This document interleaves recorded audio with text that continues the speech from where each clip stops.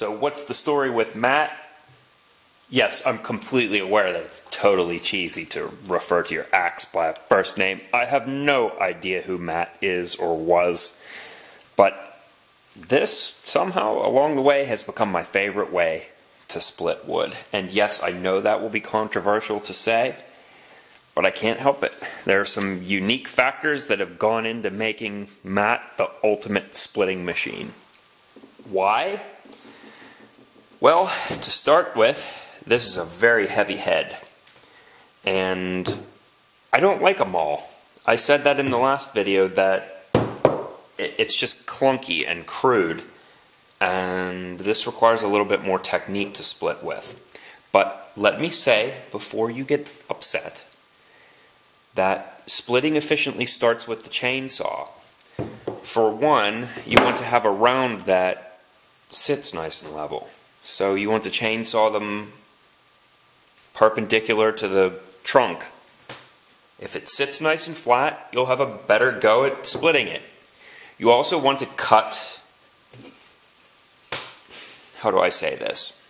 You want to make your chainsaw cuts really close to any limbs that are sticking off. That way you can flip the log like this so that the limb part is at the bottom and it gives you more distance to wedge the round apart before it splits and then the grain that's sticking off in some goofy angle will have less of an effect on your split. But there's more.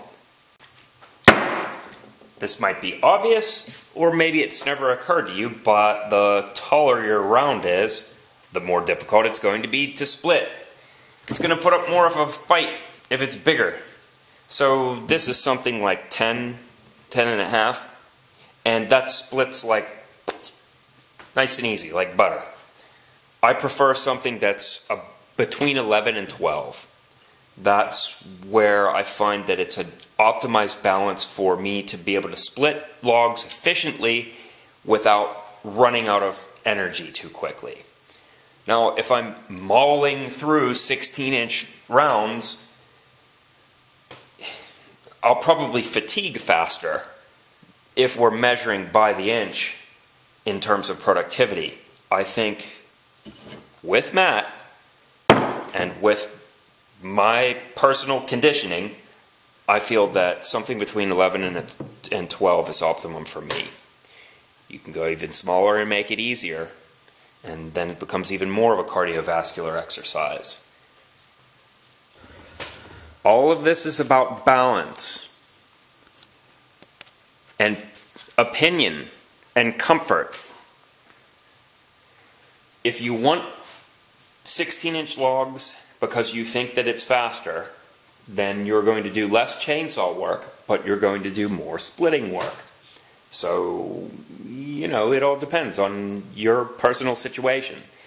Also, my wood burning stove is smaller, and the space that I'm going to be heating with it is smaller. So, I have no use for 16 inch logs.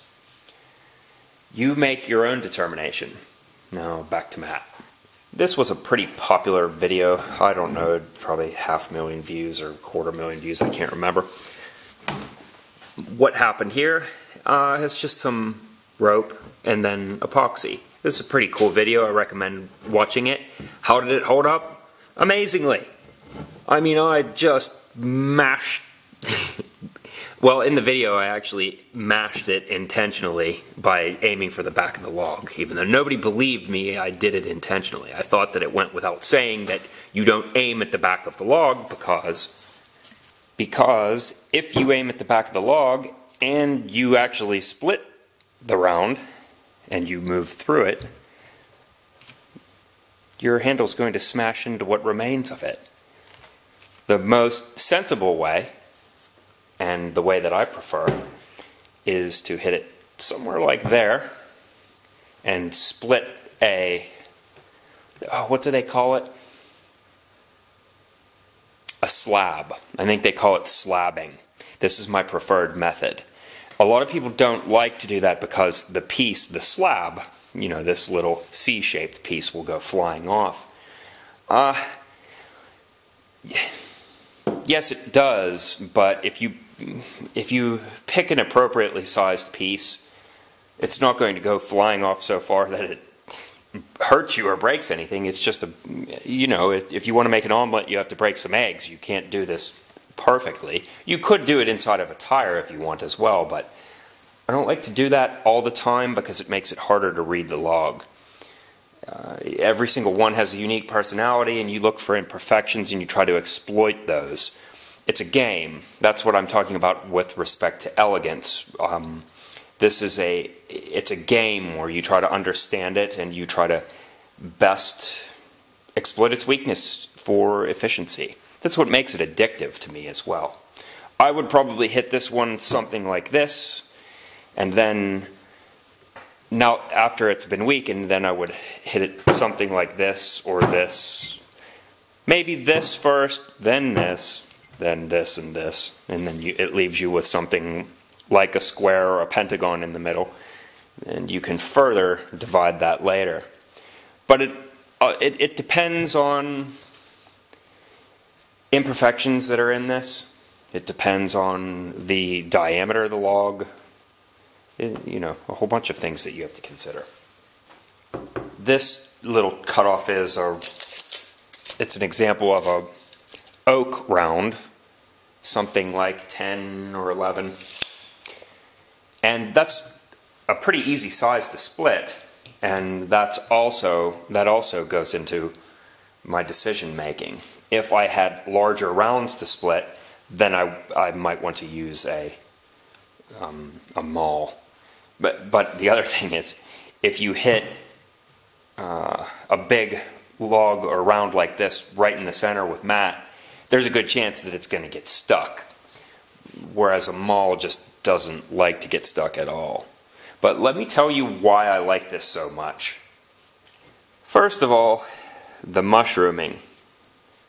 Matt has a history of abuse. Somebody was really using him heavily to sledge open some rounds. I don't do that. In fact, um, I think that the abuse has given it a unique geometry, and that's part of the reason that I just seem to love this axe. Since the top of the eye has become smashed down from all the sledge work, it has opened it up in such a way that it never gets stuck if it does bury itself in that deep, it will have a tendency to pivot. It rotates on that shape rather than having all of this surface area consistently touching all the way through. Uh, so a straight wedge is, in my experience, really easy to get stuck. It's important to keep it smooth for that reason as well. Uh, you might want to keep it smooth you might be inclined to believe that it's good to just keep it smooth right here, even though mine isn't at the moment. Because this is the part, this what they call the bit, this edge, this cutting part is the part that does the initial cutting. So you would think that you want it to have the smallest amount of friction, but you actually want the whole thing to have little friction because as it gets stuck, less friction means it pulls out easier. And there's a considerable amount of energy used on unsticking your axe. And I, I don't care who you are or how experienced you are, you're going to get your axe stuck periodically if you're splitting rounds with it. This handle broke. Not exactly from abuse, more like a, a combination of mild abuse and bad luck. It wasn't the best handle from the beginning. I love the geometry on this handle. It is a link handle, 32 inch, and it's from Seymour Manufacturing. I, I love it. It's hickory. I love this handle with respect to its shape, its design, its geometry. It, I love it. But the grain is just completely wrong. The, this company has terrible quality control with respect to the grain orientation. a real quick explanation. You want the grain orientation to be this way on the axe. It should be running up and down. It should not be off to the side or curvy like this. This one is like at a 45 degree angle, which makes it half wrong. Another giveaway is look how from top to bottom how there's a color change. That's incorrect. You should see a color change from this direction. Here's a better example. I did this one myself. Look how dark it is on this side and how light it is on this side. That's because there's a difference in, I don't know if you can see that. There's a difference in heartwood, which is darker on the inside, and then this outer wood is lighter. So that's that gives you an indication that the grain lines are going in this direction. I hope that made sense. If you can understand that, fading from top to bottom, bad. Fading from side to side, good. This is an extremely heavy axe. The head is something like four and a half pounds. I'll know better once I rehandle it. I'll, I'll weigh it. But my best guess is this is four and a half pounds. And on a 32 inch handle, it just gives you, it, it delivers a considerable amount of force. So this isn't, if you've never handled an axe this big, it's not that far off from a maul. I'll show you how I broke Matt, but I'll demonstrate using this. This is a different axe, but I'll give you the idea of what happened. I was splitting something just like this, something way taller than I normally split. This is, I don't know, probably 17 inches or so. And it's got a maybe three and a half inch diameter. I'm accustomed to using one, a round to split on, and then I have another 11, 12, 13 inches up for the log that I'm splitting. When I came down through, for whatever reason, it did split perfectly in half, but as I came through, the half that was ejected out of the back, I don't know how that happened. It happened fast. Usually the two halves separate left and right, but for, in this case, for whatever reason, an imperfection or some variable or variation that I can't understand, one of the halves came this way towards me. So as you can imagine, as my swing is finishing, about here, when it's about to hit my chopping block, this hand is here, and this round the, the part that split off came back like this and jammed between my hand and the hatchet handle and the log. So it hit somewhere like that and put a whole bunch of stress right here. And because of the bad grain orientation, the handle just couldn't have it. It just couldn't handle it. It snapped like that. I, I mean, it was just an instant. No, it didn't even put up a fight. So it's time to give Matt a new handle. I'm trying to do the same thing again, except I wish that I could have one of these link handle division handles, except with a proper grain, but I don't have access to one. I'm just going to keep buying them or looking until I find one, and I'll try to build another axe that's exactly like this. I'm going to be on the lookout for another head that's similar to Matt. No, well, what I'm going to do, well, I, am definitely going to repeat this, but I don't think that it was necessary to use such a thick rope because this is above and beyond the amount of protection that's necessary. Although I found that it wasn't very imposing, it, it didn't bother my hand at all. It was quite smooth. And even the parts that started to fray over the course of the last, how long did I split with it?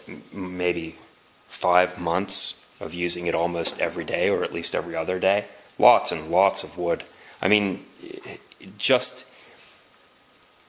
within the last three days of this handle's life, I I split at least a cord of maple. So there was a lot of miles on this. Can I recommend it? Absolutely. I, unambiguously, yes, do this. I can't imagine having a better axe guard. But as I've said, probably use a thinner diameter rope than I did. In a nutshell, an axe setup like this with something like four and a half pound head on a 32 inch handle. It probably works best for rounds that are between 6 inches and something like 16 inches, assuming that they're less than 16 inches tall. I don't really expect to change any minds. I'm sure a lot of you are still going to say get them all, both with and without irony. But this is how I do it. This is what I'm comfortable with. And I may change, but not right now. Lucky for me, I found a roll of this stuff, which saves me a trip to the store. When you pull on it tight, it's just a little bit more than an eighth of an inch, which is a little bit thinner than what I used last time. So, I'm going to oil this and then handle it. And then I'll do the epoxy rope wrap and I'll be back in business. There we go. That's looking better. Don't go away yet. I have one other potentially controversial opinion to express. I'm sure those of you who are still still here won't mind. You probably, if you've been here this long, you probably appreciate the conversational tone where I'm just being genuine with you. Uh, the opinion I want to talk about. The step wedge. I don't want to call it exactly useless, but I don't use them. Here's a case. They're typically put in usually perpendicular to the wedge itself, and, and I think the theory behind them is that if you use one, then you have an application of a wedge force in both along both axes in both directions against the side of the axe and the front and back. I, I don't I don't see them as necessary for the most part. This was hung in May of 2015. It, it, as I put the date on there, it endured unimaginable stresses and abuses, and there was never a step wedge put in. In order to get this out, I drilled the wedge out. I used wood glue when I put it in. Uh, also, where these cheeks were flared out, you can see the difference because of the sledging on here, the abuse. It caused the cheeks to pound out a little bit. I apparently put some additional wedges in to fill up that space. So I think the trick to, to hanging one of these correctly is to make sure there's no airspace anywhere. Um, and to make sure that the wood that you use is dry and intact and driven in tight and used and used with wood glue.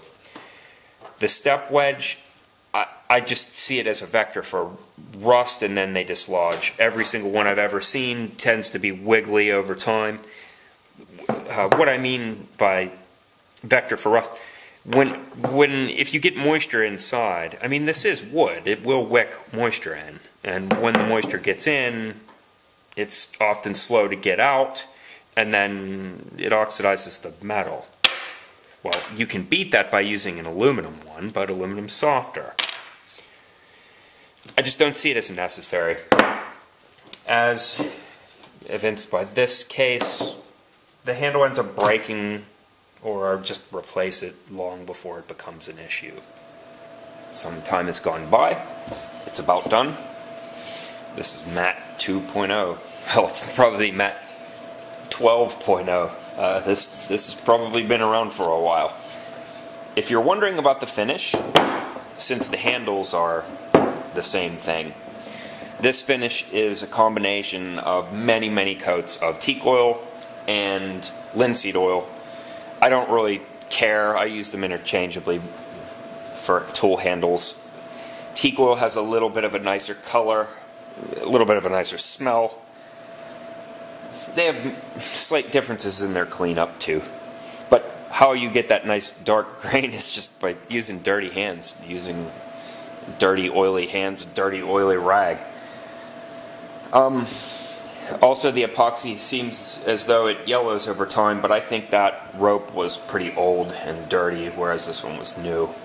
But in either case, I think it looks cool. I'm pleased with the smaller uh, rope. Has it, it, it has a overall thinner profile, and I like that. So I think this is definitely an improvement. I hope the handle doesn't break, but we'll see how it goes. And it's about time, because I haven't split in a while. So I think that's about it. Oh, one last thing I want to mention. I gave this version proper cheek wedges, and that really drove it in tight. Again, all my wedges were glued, and the fit was airtight, especially down here. When I rammed the axe head onto the handle, it made a, a minor curl all the way around. I didn't stop until the fit was flawless. So I expect that I can get a few years out of it. Well, hopefully. I use it more heavily than I ever did before, so we'll see how it goes. Here's to another several years, Matt.